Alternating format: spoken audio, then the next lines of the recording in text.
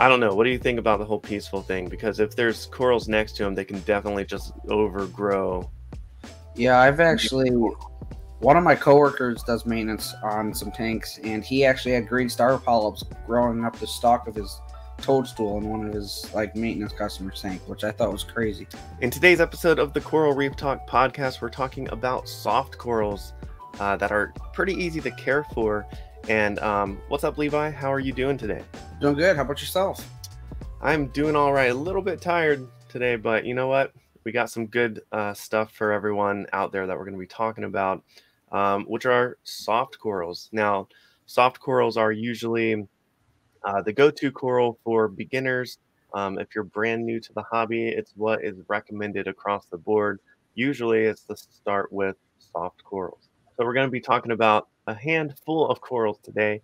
Um, I picked out a few. You picked out a few. Um, what do you got for us? All right, so well, let me let me break down soft corals real quick before. Yeah, that's good. That's probably a good idea. Um, so yeah, soft corals, like you said, uh, a lot of uh, beginners reach out and try to find some soft corals to start out with, obviously because they're relatively easier than LPS and uh, SPS. Um, and there's multiple different species of soft coral. Soft corals covers a wide range of corals, including some non-photosynthetic corals that are actually a little bit challenging. Um, and sometimes I know certain beginners that like see the striking colors of some non-photosynthetics and immediately think, "Oh my goodness, I have to have that in my tank." Um, but there, there's there's ways around that, um, and maybe eventually down the road, that's a cool thing to add um, as far as the non-photosynthetics. Uh, but definitely, I would recommend if you are a beginner, sticking to the photosynthetic soft corals, and I'll try to break that down here in a second uh, when I'm explaining the corals that I chose for this episode. Yeah, that's good. Um, different types of soft corals um, can be tricky for some beginners, especially if they're choosing non-photosynthetic, like you're saying. Because mm-hmm. uh, NPS, you have to you have to feed them, yes. right? So, yep. yeah, they're not getting the the light source, or they're not growing from light like your yeah. typical soft coral. Um, so when looking at soft corals, one that comes to my mind that is uh, one that I recommend a lot, just because I I really like this coral. A lot of people probably um, have different opinions on this coral because it can grow really fast and take over the tank. But I feel like that's um, with a lot of soft corals. That's kind of what can happen. A lot. Mm-hmm. I feel like yeah. a lot of them grow pretty quickly and can become a problem. Like just take over your tank. Um, type thing. But the first one here is the Kenya tree coral. Um, ever since I started the hobby, I've been a huge fan of this coral, and mainly because of the movement that it gives your reef tank. Um, like if you're looking for something that's super easy to care for, that doesn't really uh, worry about parameter swings because as a beginner hobbyist, you're learning the chemistry of your tank. You're learning um, what to test for. You're learning how to keep your aquarium stable. Um, sometimes you add more fish than you should at the beginning, or you add more corals than you should, or something in the beginning. Any, anyway, there's room for error, especially if you're brand new to anything. Um, so, with that being said, a coral like this can you usually withstand those different parameter swings. Yeah. Um, but yeah, this is the Kenya tree coral. Uh, it's also known as like the cauliflower soft coral, um, but one of one really good ones for beginners. What do you think? Yeah, I definitely recommend them for beginners. Um, if you're aiming to like have it in a certain area, I definitely try to recommend like leaving it on an island if you don't want it to take over your whole scape. Um, but even with the island, they, they tend to like drop little buds. I don't know if you noticed this, but they like kind of almost bud off. Mm-hmm. And like a bud kind of floats around the tank and it reattaches somewhere else and it starts growing. Yeah, like this whole area back here. If you're watching yeah. on the video podcast, you can see the side of the tank. Like those are like buds that just fell off or pieces I found from the other side of the tank and I just threw in that corner because this is like the Kenya Kenya tree section of the aquarium. Yeah but yeah, they definitely drop buds and just start growing everywhere. But I mean, if you're looking for a coral that's super easy and it looks really good and it goes with the flow and it just mm-hmm. has really good movement, that's definitely a coral that I recommend. So, yeah, for sure. And um, they they thrive in a variety of different lighting conditions mm-hmm. too. So, um, if you don't have the fanciest, uh, most powerful LED light fixture, and you have like T5s or something like that, they're going to do just fine. Mm-hmm. Like like we're saying, like this is a, a coral that um, can really just thrive in a variety of different environments. So yeah. it's great, great yeah. for beginners. Um, and then, so that that's my first one. That that's my go-to recommendation for anyone just starting a reef aquarium. Like, you don't want to throw LPS or definitely SPS in your tank right away. Like, mm-hmm. get your feet wet first, figure things out. It's a good one to start with. And now you you've got some interesting ones. I mean, uh, you are the oddball reefer, so I know you got I know you got some stuff for us today. What what do you got?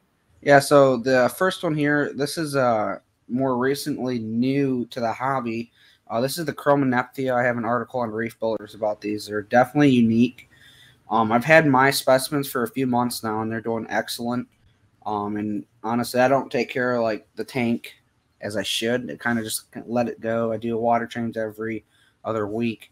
Um, but I mean, I feed the tank, but I just don't closely like monitor it constantly all day. Uh, probably like I should, but it's been doing great. I got three specimens in the tank. I got like a yellow variety, red variety, and then this one uh, that is at my work. It's super unique. It has like a white base, purple tips with the red center. I mean, they're gorgeous. Definitely, I wouldn't recommend this for like a beginner just getting into the hobby. But if you have a decently established tank, I think this specific species would actually be um, very good to put in your tank to add some color. Um, I've noticed them to be similar to chili corals as far as like care wise. Uh, they're definitely like compared to a Dendronephthya, which is a regular carnation coral. Um, I'd say definitely a little bit easier. I've definitely struggled with the Dendronephthya uh, more than the Chromonephthea. This this is one very hardy coral, as I've noticed so far. Um, and my specimens in the little lagoon over here have actually grown a little bit too. So I mean that's a good sign. Uh, but definitely something unique and odd to add to the tank, and I'm super excited to be bringing this into the hobby in the United States. So super stoked to see how this kind of travels around the aquarium hobby. Yeah, that's very cool. What's um some of the differences between this coral and the first one we showed, the Kenya tree coral? Because so yeah, that's similar shape and stuff. Yeah, they definitely have a similar shape, and I mean, even the polyps when they're closed up kind of look very similar. Mm-hmm. Uh, but obviously, this is a non-photosynthetic coral, so it's definitely yep. going to need some food and like a little bit of nutrients in the water. Um, but like I said, if you have like a established tank that's been up for a year or two, I mean, you really shouldn't have any issues. It's really not much different than a chili coral from what I've noticed in care, like I said. Um, and chili corals, I mean, you could pretty easily keep them in a decently established tank where they can kind of just feed on detritus and such that kind of floats around in the water column. Mm-hmm. Um, yeah, definitely unique and different. So, gotcha. Yeah, and when feeding these, like, how often are you feeding non-photosynthetic corals? So this specific tank that these corals are in, I feed once a day. Okay. Um, and every so often I'll throw in some more in the evening. But usually every morning when I wake up, I uh, dose the tank with some Phyto Feast and Oyster Feast from Reef Nutrition. Um, because usually at nighttime these are fully open and already mm-hmm. like out and feeding. So when I wake up in the morning, uh, they're all opened up, and I go ahead and feed the tank then.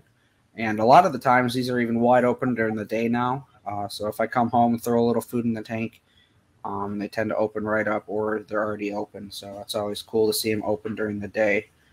Um, but yeah, I mean, on a regular basis, I feed the tank once a day and have not had any issues with this species. So, gotcha. And then, like, do you kind of view this as like when you have fish in the tank? Like, obviously, you don't want to overfeed your aquarium, mm-hmm. um, but are you focused like you have your water change schedule down for this um, do you have like really good filtrations to make to make sure that as you're feeding the tank every day um, yeah you're not um, polluting the water and stuff like that so i have a little protein skimmer on the back of this tank um, that obviously helps remove nutrients and then i have an npx uh, bioplastic uh, reactor uh, from Two Little Fishies. It's the little uh, little reactor uh, with some pellets in it, and it just kind of stirs throughout the day. And obviously, that bacteria removes some nutrients and helps with phosphates in the aquarium. Um, but I have had no issues. I do water changes on this tank like every other week, pretty consistently, and everything seems to do amazing and grow really well in there right now.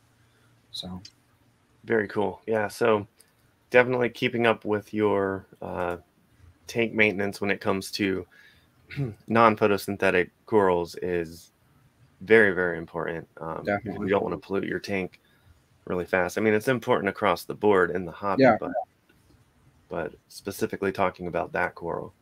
Um, awesome. So the next one up for me, uh, this is one that this coral I love because it adds a pop of color to your reef tank.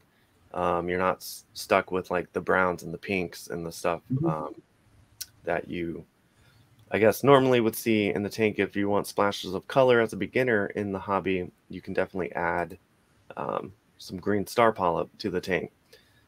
Uh, now, green star polyp, um, it will encrust and grow over the rockwork. Um, if your rock's close enough to the back of your tank, it's going to like grow off the rock and stretch up uh, onto the back glass. That's what I've noticed with mine. Um, there are uh, some different species of this. The one that I'm showing um, will cover uh, your rock work and take over, and it just it adds motion to your reef tank as well. Um, they're nice, bright, vibrant green, which is really cool. Um, they're very peaceful. They're not gonna. Well, I don't know. What do you think about the whole peaceful thing? Because if there's corals next to them, they can definitely just overgrow. Yeah, I've actually one of my coworkers does maintenance on some tanks, and he actually had green star polyps growing up the stalk of his toadstool in one of his like maintenance customers' tank, which I thought was crazy. But that shows you right there that yeah, they will grow over other corals. Mm-hmm. Um, so even like I said with the Kenya trees, if you don't want it all over your tank, I'd recommend trying to seclude it to like a little island on the sand or something. Yeah. Uh, but in big colonies, like stretched out throughout the tank, it, they look so gorgeous with their movement and their color. It obviously sticks out and attracts people's eyes. Um, so yeah, I mean it's really cool to keep. Other uh, like you said, there's a lot of different varieties of it too. Mm-hmm. Um, I've seen some that like tend to branch out a little bit, and I've seen some with like uh, different colors, like neon centers and, and like yeah. white like branches. I mean, they're just super unique. There's definitely a few different varieties that you can try to mix in there too. So, yeah, and and the tip about um, isolating them to their own piece of rock, I feel like that is going to be a big tip for at least the three corals that I have here today is isolating them if you don't want them to spread. However, even doing that sometimes, I feel like they're still just gonna get to another part of the tank. Like you'll just find find them popping up. Like if, yeah, like I don't know. Um, not so much, maybe not so much with the green star polyps, but definitely Kenya trees. Yeah, Kenya trees with the budding and stuff. Yeah, yeah. Sure. If you're brand new listening to this or watching the podcast via video, um, and you want to splash a color, definitely look at the green star polyp. They are not too challenging to care for. Um, and they grow in different parts of the tank too, like as far as heights of the tank. Like you can put them down near the sand bed, they're going to do well in low light. Uh, they're going to do well in medium light, and they will adjust and do well in highlighting environments too. Yep. Um, so like the the video we're showing here, these green star polyps are at the top of my rock work in the 125 and i would say they're probably let's see it's 20 something inches deep so i would say they're probably six to ten inches from the top something like that. So i mean they're pretty close to the top maybe maybe shorter than that um, without an exact measurement but they're at the top of the rock work so they're in highlighting they're right underneath the led light fixture too um, so they're definitely getting a lot of par, and you can see how fluffy um, and extended the polyps are. Like they're they're out, they're happy, and the water flow plays a, a important factor as well. Yeah, because um, you want water flow going across your green star polyps to not only deliver like the nutrition that they need, but push um, like you don't want anything settling on it, like detritus or anything. You want to push mm-hmm. all that waste and stuff away from the coral. So you want to give it nice water flow too. You don't want too intense of water flow, right? Like you don't want to blast this coral. Yeah. Um, but you want to give it enough to where you get that constant motion of the polyps. So nice little pulsing water flow movement. Looks pretty cool. Yeah, it looks really good but yeah, even in this clip, you can see that it's kind of growing over these, growing over and on these um, Kenya tree corals. Mm-hmm. Like it's stretching way up there. But yeah, I'm I'm a big fan of green star polyps, and they're easy to frag too. So if you're yeah, looking to sure. yeah. get into uh, growing corals too, and making frags and trying to make a little money on the side or something, you know, uh, they're definitely easy to grow and frag and yeah, really cool. My second favorite soft coral that we got. Yeah. I believe this is going to be the Sarcophyton. Yes. Or no, the Stereonephthya. Stereonephthya. Okay. okay. So this is a Stereonephthya. Um, and I mean, even for beginners, I mean, I'd recommend waiting a little bit, like a month or so, to put this into your tank after you've added some more coral. Mm-hmm. Uh, but it is it's like half and half between photosynthetic and non-photosynthetic. It is partially photosynthetic. It uses some light to grow, uh, but it also uses a little food. So it's definitely different. Um, this picture doesn't really do the justice on this coral. It's like bright pink, or not pink, like purple. It's okay. really pretty and has like a white base, and the polyps are bright, bright purple. I mean, they're really, really pretty. Um, this is probably like half extended right now. It gets pretty big now, and it's grown quite a bit since this photo was taken. Um, and if you look real close at the uh, base, you can't really see on this picture, but it, it really looks like the carnation or has those little um, or whatever in it to help support the uh, stalk and help them stay extended into the water column. Uh, but if you're looking for a coral that's easier than like a carnation coral per se, I definitely look for a Stereonephthya uh, there's a couple different ones out there. Um, so it's definitely a coral. that'll definitely add some color and it'll throw you a little challenge at the same time by kind of feeding it a little here and there. Uh, but it'll definitely add some color to your system. And I mean, they're honestly relatively easy to keep. I mean, I, this is in the same tank as the a Chromonephthea, so I mean, I feed it like once a day faithfully, and that's okay. really about it. So I mean, dude, it's doing really great, and it grows pretty quick. So it's probably doubled in size since I took this picture. Nice. Yeah, it looks it looks fluffy, man. Yeah. I don't know a better term for it. Yeah. but it yeah, looks like the thing's a fluffy core. So what? at night, it like shrinks up into like a little ball almost, and it's like a solid purple ball. I mean, it's super weird, but it's super cool. So I got two of these actually. One's like a purplish color, and then one's like a whitish kind of mm-hmm. brown color. It's different.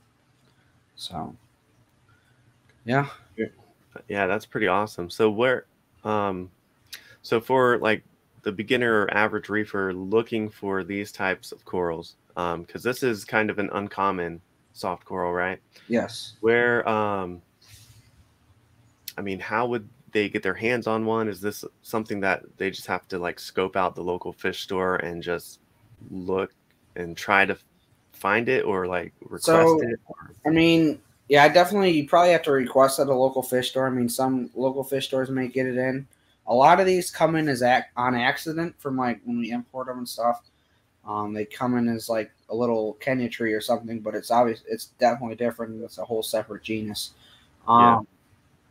So like a lot of these come in on accident, so they're not as common. But if you request the Stereonephthya specifically, you should be able to get your hands on one uh, especially if your local fish store orders from like wholesalers around the country. I mean, they're not uncommon, but they're not common. They're kind of like in between. You don't see them too often, uh, but they pop up every so often. So yeah, or looking online. I mean, some online uh, stores have them. They have the um, I think they call it like pink lemonade Stereonephthya or something. That's that's online. There's quite a few vendors that have that and grow it. Uh, but I got a couple that I picked up at a wholesaler, and it. I mean, they're just different colors and they're different strains, so I'm gonna see what happens with them. Gotcha. And as far as like lighting conditions for this one, is this um because this is like uh do they come from like shallow reefs? So I'm guessing it's it's definitely from a little deeper. I mean, it doesn't require an astronomical amount of light. I want to say my tank's probably like eight inches deep, and it's on the bottom on the sand bed. Okay. Um, so I mean, I'd say moderate light to even low light, because they they'll like you'll notice if you kind of like tuck them away, they will expand out and try to reach for some light. Mm, So, okay. And I just have this on the open sand bed and it does really well. I'd say moderate flow too. It definitely likes a little bit of flow.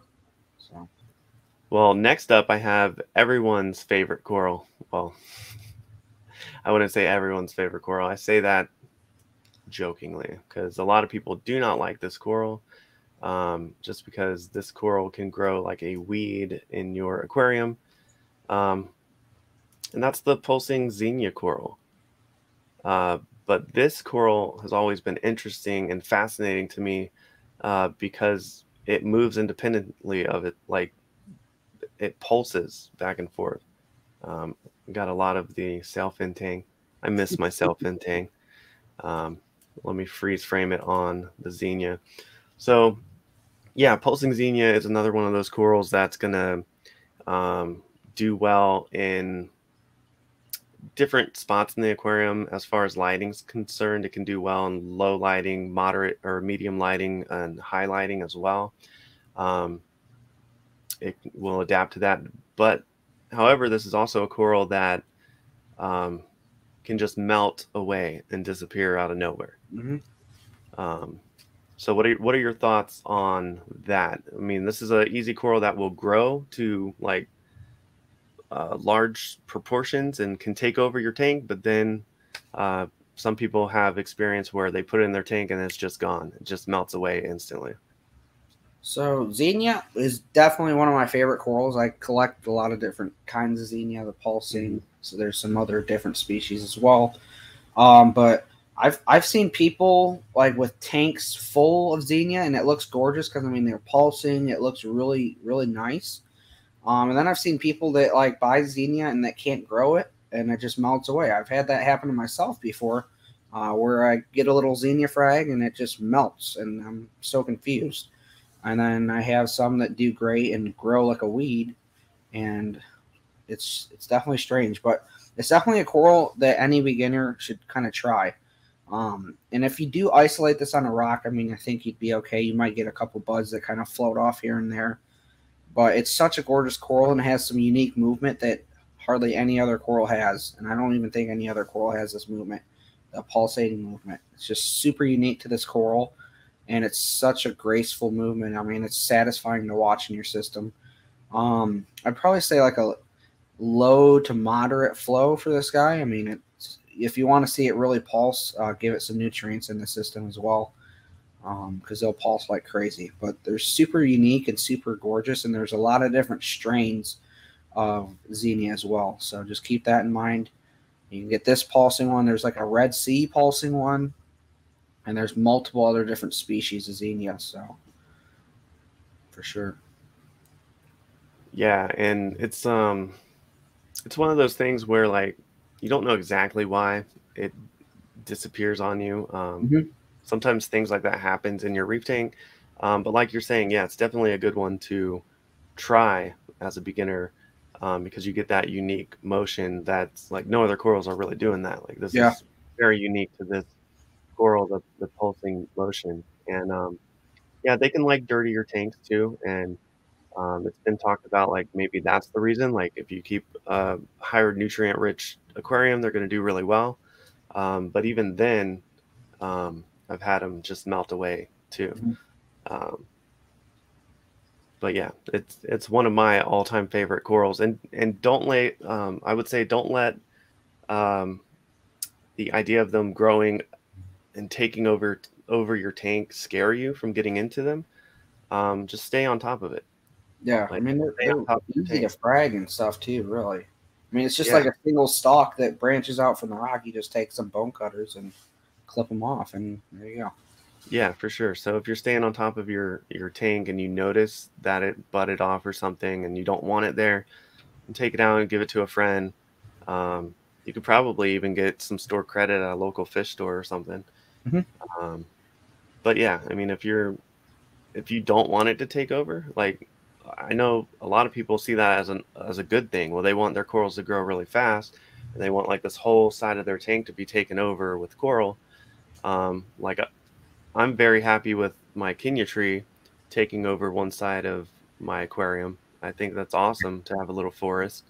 Um, but I don't know, it's preference because I've I've had people comment and say, "Hey, you need to get rid of that. Prune prune your Kenya trees. Get those out of there." Yeah. So I mean, the real the thing is, like me personally, when I set up a system or a tank, I want it to look as natural as possible. So I mean, a lot of people nowadays uh, recently kind of tend to just do frags, like, "Oh yeah, I got a colony," yeah. but it's like a like something the size of a little frag, and I'm like, in the wild, you got colonies that are football fields long, like, oh, yeah.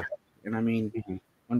I see people commenting on people's like tanks all the time on like Facebook and online, like, "Why do you have so much xenia? It doesn't look good." It does like that's not like that's your opinion. Like some people mm-hmm. like to have certain corals take over. Like it looks more natural, in my opinion, when you have a lot of the same coral in the tank. I mean, you have a huge variety of coral. Like I mean, I do in my lagoon, so I can't really say much. But yeah, I gotta have some place to put the corals I collect. But um, I mean, yeah, like if you're aiming for more of a nat- natural system or a natural soft coral tank, I mean, just kind of let them go. Like let them do yeah. their thing. So. Yeah, definitely. Let let them grow. See how they grow. Um, see what they grow over, how they take over the rock work, and your aquarium can turn into something that um, is maybe even more beautiful than you've envisioned. You know, so um, yeah, like I'm I've been a big fan of just putting the corals in and just let it like see what happens. Like yeah, I, like exactly. I know Julian Sprung has a pretty natural looking uh, reef aquarium too. Like you let that thing, like, just let nature do its thing. Yeah, you know, for sure. Exactly. Um, and now this this other one that you you have this thing.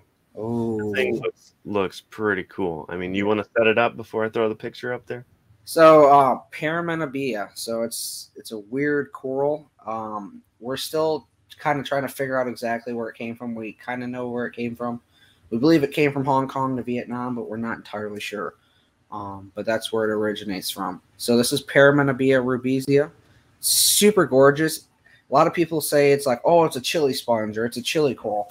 I mean, it looks very similar, but it's not. This is a totally separate genus and a totally separate species. Um, it's very smooth, unlike the chili coral. The chili coral has like a lot of more bumpy texture to it. Um, and it is one of the most gorgeous corals I've ever seen in my life. And I've had this coral for almost a year now. And I mean, it's growing. Uh, it's not the fastest grower, but it's definitely growing. Um, and it's in the lagoon tank, so it gets fed once a day on like faithfully, and it it's amazing. It's it polyps out during the day. I mean, this obviously this is a daytime shot. It's just such a unique, gorgeous coral. It's non-photosynthetic, so keep that in mind. Uh, but I have had no issues keeping a coral. I've went away for weeks and haven't fed it, and it does amazing. Um, I mean, with the system being up as long as it has been, I mean, you can even see some little telesto corals kind of just growing. So this system definitely has some nutrients and some food to be offered. Um, but it's just such a gorgeous coral, and if you're looking for something different that looks different and adds some color to your tank, um, I definitely recommend this if you're able to get your hands on it. Uh, I haven't seen it in the hobby since I picked the specimen up, um, but I'm hoping once Vietnam opens back up uh, with some CITES uh, that we'll be able to get some more of these in because they're just super gorgeous. And I've never seen them in the U.S. before last year, so if you can get your hands on one of these, I definitely recommend it because the red coloration you don't get to see too often. Yeah, that that red is awesome, and and the way the polyps look too is really neat. Yeah, for sure. So yeah, so having having like greens and some pinks and purples, and then having this red like in your tank would definitely pop off. Like it's really cool. Yeah, most definitely. So, I mean, you can see this. Like, yes, it's non-photosynthetic, but I mean, you can look at this coral right here and see that it's like it's obviously sitting wide open in the light. So I have yeah. it kind of on a little cliff on in the tank that it's in, and it kind of just branches out into the current. And I mean, it's obviously getting a lot of light, but I've had no issues whatsoever.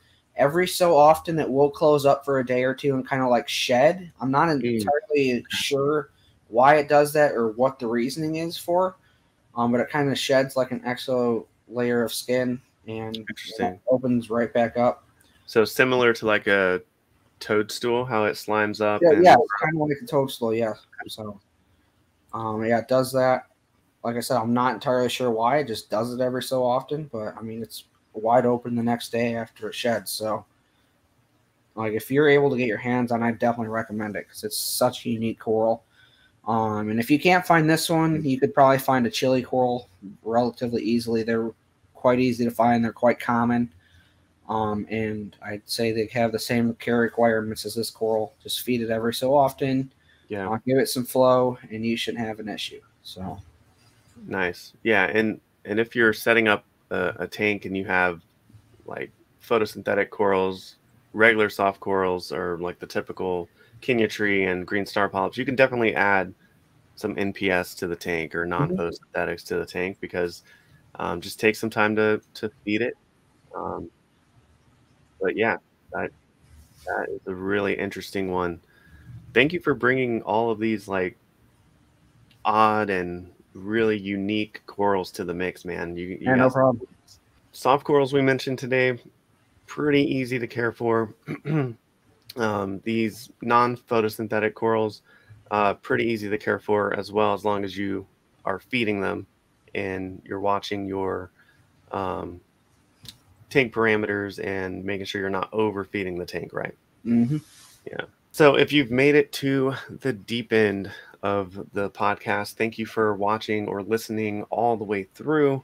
Um, if you have any questions for us, definitely leave them in the comments below. Um, we'll link some of these corals in the description and the show notes for you to take a look at some of the care requirements and stuff as well.